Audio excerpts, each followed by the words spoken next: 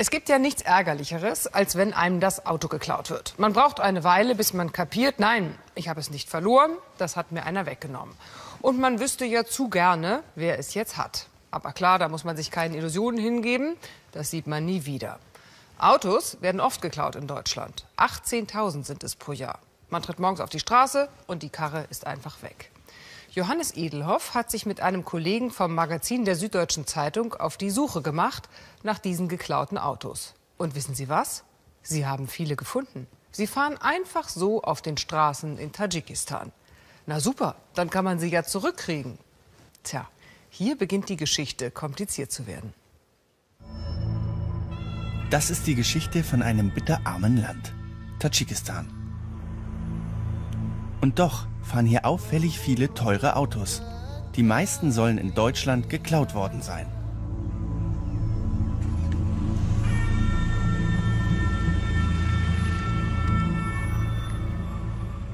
Das Verbrechen beginnt meist in besonders friedlichen Gegenden, etwa hier im grünen Hamburg-Poppenbüttel. Otto Addo, Ex-Fußballprofi, heute HSV-Jugendtrainer, konnte eines Morgens seinen Range Rover nicht mehr finden. Da war dann der Wagen weg. Äh, ich habe dann kurz überlegt, ob ich vielleicht da vielleicht jemand vom Haus stand und ich woanders geparkt habe, bin dann noch mal kurz reingegangen zu meiner Frau und sie meinte, nee, nee, sie war auch äh, zufällig am Fenster, am Küchenfenster, hat gesehen, dass ich da geparkt habe und äh, bin dann trotzdem noch mal die anderen Straßen abgegangen und habe dann die Polizei gerufen. In Addos Straße schlug wohl eine ganze Diebesbande zu. Nicht nur sein Wagen wurde geklaut. Da wurde mir dann gesagt, dass ich auch nicht der Erste bin in der Woche, dass ganz viele ja, Autos, BMWs, Audis, ähm, auch Range Rovers äh, geklaut worden. Autodiebstahl ist ein professionelles Geschäft. Pro Jahr werden 18.000 Autos in Deutschland gestohlen. Dahinter steckt meist eine organisierte Automafia. Die Frage nach den Tätern lässt sich für uns so beantworten, dass im hochpreisigen Segment bei neuen, hochwertigen Fahrzeugen praktisch nur noch professionelle Banden tätig sind. Und die kommen äh, bei uns hier im Landeskriminalamt, bei den Fällen, die wir bearbeiten, im Moment ganz überwiegend aus Litauen. Professionelle Banden aus Litauen. Dieser Mann organisierte den Diebstahl dutzender Autos. Die Bestellung kam per Telefon. Teure Luxuswagen. Dann schickte er mehrere Diebe gleichzeitig auf Raubzug. Wie teuer ist denn so ein Auto in Litauen? Jetzt aktuell ist nichts sehr teuer. Also die neueste 7er BMW X6 kostet ungefähr von 5.000 bis 7.000 Euro. Mehr nicht. Mehr nichts. Weil es, weil es viel zu viel Konkurrenz, sagen wir so, in jeder Bande arbeitet noch drei kleine Banden von einer größeren Bande. Dann gibt es vielleicht 30 oder 40 Banden aus Litauen, die das arbeitet. Also ist richtig viel Konkurrenz und deswegen die Autos, die Preise senken unten. Wir arbeiten heute wie Hacker, sagt uns der Mann. Zwar sind die Wagen mit Computertechnik gesichert, doch die knacken die Diebe mit teurem Hightech-Werkzeug. Und das gibt es für fast jedes Fahrzeug im Internet. Solche Geräte sind mittlerweile so einfach zu kaufen wie ein Buch. Und in Videos zeigen die Verkäufer stolz, mit dem teuren Werkzeug lässt sich fast jedes Auto hacken. You have to put the key like this and press enter.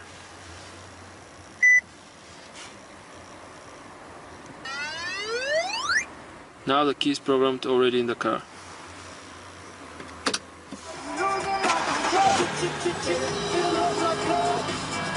Der Dieb macht auf, macht auf, steigt ein in das Auto, macht das Auto an. Das dauert zwei, drei Minuten, wenn alles gut geht, ruhig und geht der Fahrer rein und fährt sofort los. Die Kuriere fahren die geklauten Autos dann nonstop von Deutschland nach Litauen. Der Automarkt in Kaunas. Hier konfisziert die Polizei regelmäßig gestohlene Wagen. Deshalb werden die möglichst schnell außer Landes gebracht. Etwa per Zug nach Tadschikistan. Denn das Land hat hier einen sagenhaften Ruf. Mit geklauten Autos kann man angeblich ohne jede Angst vor Behörden umherfahren. Schon 2011 gab es 800 Verdachtsfälle äh, nach Auswertung von Transportlisten für den Bahntransport von Litauen nach Tadschikistan. Und auch danach konnten wir weiter feststellen, dass äh, bei uns entwendete hochpreisige Fahrzeuge in Richtung Tadschikistan verschoben werden sollten. Auf diesem Weg wurden demnach mehr als 1000 in Deutschland gestohlene Autos in das weit entfernte Land geliefert, Tadschikistan, am Rand des Pamirgebirges. Wir fahren hin und machen uns selbst auf die Suche nach den verschwundenen deutschen Luxusautos. Das Land? Eines der ärmsten der Welt. Durchschnittseinkommen 60 Euro im Monat. Das ist weniger als in weiten Teilen Afrikas, in Mauretanien oder im Senegal. Doch die Hauptstadt Dushanbe ist voll mit teuren Autos. Mercedes, Porsche, BMW, Neupreis oft mehr als 100.000 Euro. Sind die alle beim lokalen BMW-Händler gekauft? Kurze Recherche. Lokale BMW-Händler gibt es hier nicht. Ebenso wenig wie etwa Händler von Range Rover. Und die neuen Besitzer? Wer ein Luxusauto kauft, hat gute Kontakte zur Politik, heißt es. Was auffällt, viele sind sehr jung. Ich bin Geschäftsmann. Ich habe mit 16 angefangen zu arbeiten. Jetzt bin ich 25 und habe dieses Auto gekauft. Ich kaufe immer nur BMW. Es heißt, solche Autos in Tadschikistan seien oft geklaut. Nein, das ist nicht gestohlen.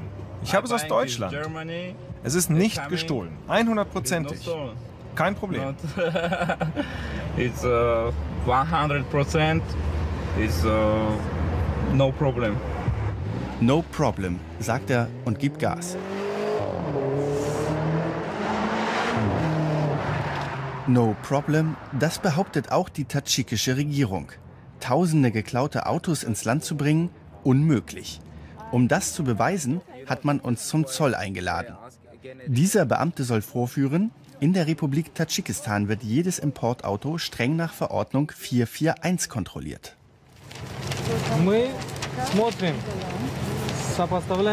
Wir prüfen die Dokumente, die wir bislang haben. Sehen Sie hier, hier steht der Name des Fahrzeugbesitzers, der Fahrzeugtyp. Und hier die Fahrzeugidentifikationsnummer.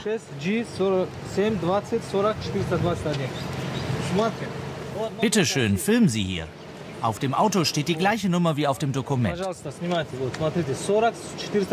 Das Problem? Die Nummer auf dem Auto ist schwer zu fälschen, die Nummer in Dokumenten hingegen nicht. Um zu prüfen, ob ein Auto geklaut ist, müsste die Nummer auf dem Auto mit der Datenbank von Interpol abgeglichen werden. So etwas könnte auch der Zollbeamte veranlassen, wenn ihm ein Fahrzeug verdächtig erscheint. Wie oft veranlassen Sie so eine Überprüfung, wollen wir vom Zollchef wissen. Wie oft haben Sie Zweifel?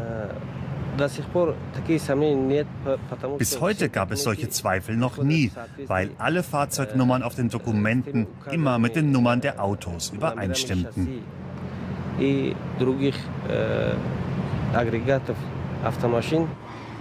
Keine einzige Überprüfung bei Interpol, zumindest in dieser Zollstation. Seltsam, denn auf den Parkplätzen der Hauptstadt Dushanbe beschleichen uns öfter Zweifel. Bei diesem BMW etwa wurde das deutsche Kennzeichen aus der Umweltplakette herausgekratzt. Schon auffällig. Wer in Tadschikistan ein Auto kaufen will, kommt hierhin. Zum großen Automarkt von Dushanbe. Hier gibt es offenbar zwei Sorten von Autos. Die, die geklaut sein könnten und die, die wohl legal importiert wurden. Etwa solch alte Autos. Die sind hier auffallend teuer. Diese Verkäufer haben einen 15 Jahre alten Golf importiert. So ein Golf, der kostet wie viel? 6000 Euro. Äh, 6000 Dollar natürlich. 6000 Dollar? Ja. Und ähm, das ist aber ganz schön viel Geld eigentlich für so einen Golf, oder? Der ist von wann? Ich weiß nicht, aber das Transportieren hier äh, aus Deutschland hier in Tadschikistan, deshalb sehr teuer hier. 1000 Euro und mehr kostet der Transport per Zug, sagt der Händler. Das heißt, eigentlich müssten alle Autos hier teurer sein. Gilt das auch für die Luxusautos? Wir geben uns als Käufer aus und drehen mit versteckter Kamera. Schauen uns einen BMW X5 von 2012 an. Was das Auto kostet, wollen wir wissen. 26.000 Euro. Das ist extrem billig. Der Neupreis liegt bei etwa 70.000 Euro. Der Wagen hat noch eine deutsche Umweltplakette. Und wir filmen die Fahrzeugidentifikationsnummer, die schicken wir der deutschen Polizei. Wir haben jetzt eine E-Mail bekommen zu dem Auto auf dem Automarkt, zu der Fahrgestellnummer. Sehr geehrter Herr Edelhoff, der Wagen mit der Fahrgestellnummer gehört zu einem im Dezember 2012 in Hildesheim gestohlenen BMW X5. Der ist also geklaut aus Deutschland. Ein Zufallstreffer? Wir suchen weiter, treffen uns mit einem Autoverkäufer vor einem Einkaufszentrum. Er hat einen weißen BMW X6 im Angebot. Ob wir Probleme mit den Papieren haben werden, wollen wir wissen. Nein, versichert er uns, das sei alles kein Problem. Auch hier filmen wir die Fahrzeugidentifikationsnummer. Und auch dieser BMW wurde geklaut im Winter 2012 in Berlin. Als wir gehen wollen, bitten uns die Verkäufer mitzukommen. Sie hätten da noch was für uns. Sie führen uns in einen Hinterhof voller Autos. Range Rover, BMW, Porsche. Ob die Wagen geklaut sind, wissen wir nicht, aber sie sind alle auffällig billig. Ein Porsche Cayenne kostet hier gerade mal 9000 Euro. Es ist also recht einfach, geklaute Autos in Tadschikistan zu finden.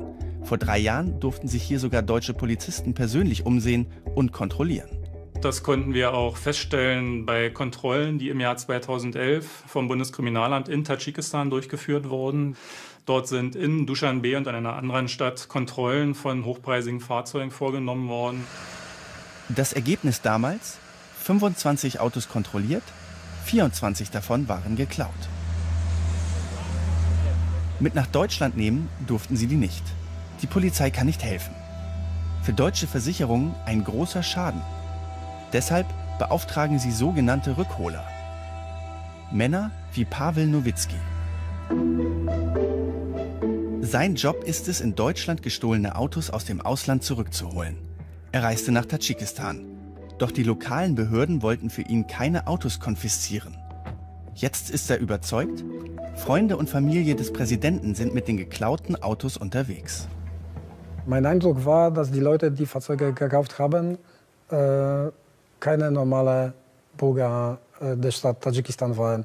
Ich habe auch von diplomatischen Quellen erfahren, dass es sich um die Leute gehandelt hat, die mit dem Präsidenten der, Republik Tadschikistan mehr oder weniger zu tun haben.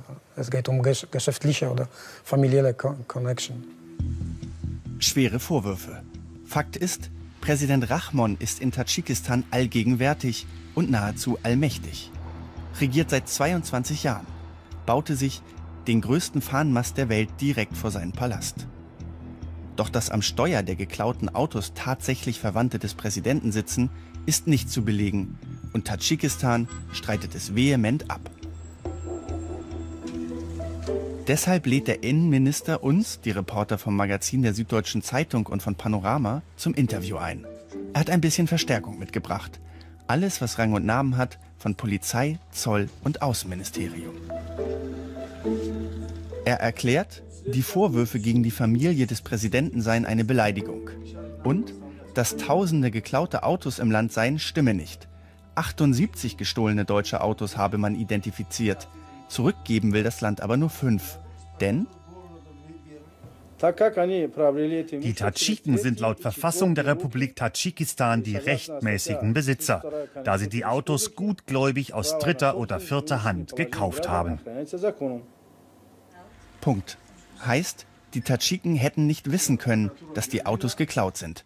Deshalb behalten sie auch die meisten. Doch das Gerücht von der Präsidentenfamilie kursiert auch im politischen Berlin. In einem Brief vom Berliner Justizsenator an das Auswärtige Amt heißt es, die Mehrheit der Fahrzeuge befinde sich im Besitz von Personen, die wirtschaftlich und familiär mit der Familie des Präsidenten verbunden sind. Offiziell äußert sich die deutsche Regierung dazu nicht. Immerhin, der Berliner Justizsenator fordert die Rückgabe aller in Deutschland geklauten Autos.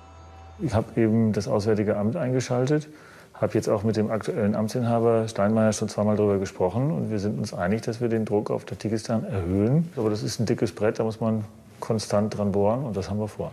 Inzwischen teilt das Auswärtige Amt mit, die Rechtshilfeersuchen seien erledigt. Die Zahl der erledigten Fälle nennt es aber nicht. In Tadschikistan stehen jedenfalls noch jede Menge geklaute Autos. Auch den Range Rover von Otto Ado haben wir gefunden, mitten in Dushanbe. Über das Kennzeichen auf der Umweltplakette hätte ihn auch die örtliche Polizei leicht identifizieren können. Also sieht auf jeden Fall genauso aus. Hinten gibt es eine silberne Leiste am Kofferraum. Die habe ich schwarz lackieren lassen, die war da auch schwarz. Das ist genau so, also eins zu eins genau so, wie ich ihn bestellt habe. Und ich gehe davon mal ganz stark aus, dass es meiner ist. Beeindruckend, wie leicht er zu finden war. Doch es hilft nur wenig. Denn wenn ein ganzer Staat nicht kooperiert, ist die Polizei aufgeschmissen. Das wissen auch die Diebe.